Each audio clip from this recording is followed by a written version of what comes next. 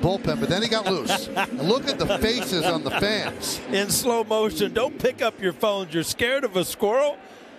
And that's This squirrel. guy's not, though. That guy's not scared. And now he's become a flying squirrel. Oh, this is not good.